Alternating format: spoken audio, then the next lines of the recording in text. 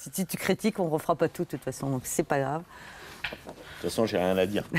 C'est leur quatrième tour du monde en commun, l'un en mer, l'autre à terre. Mais ici, dans cet entrepôt de Port-la-Forêt transformé en épicerie, c'est Madame Le Cam qui commande. Saucisses rougailles pour les mers du Sud, salade et vin rouge pour l'Équateur. Quant à Noël, c'est top secret. Pour son skipper de mari, Anne, restauratrice, a préféré au traditionnel plat lyophilisé des conserves souples élaborées dans un atelier du Gers. Ils m'ont fait par exemple euh, du confit de canard, mais ils m'ont fait sous forme d'effeuillé, c'est-à-dire qu'ils enlèvent la peau et les os.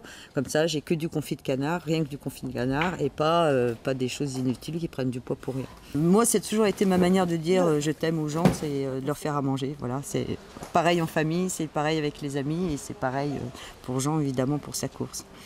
150 kilos de nourriture vont être embarqués, guère plus que ceux qui ont choisi de la nourriture déshydratée. Pour Jean Le Cam, qui en mer n'écoute pas de musique et ne lit pas, le repas reste un moment privilégié. Il ne faut pas croire qu'on est toujours Youko un Tintin. Hein. Il y a des moments où on pleure, des moments où on rit. Euh, bon, et dans ces moments-là, c'est toujours bien d'avoir euh, à la fois le, de manger quelque chose de bon et je les prépare euh, à la poêle parce que déjà il y a l'odeur qui se dégage de la poêle quand on, quand on rentre dans une cuisine.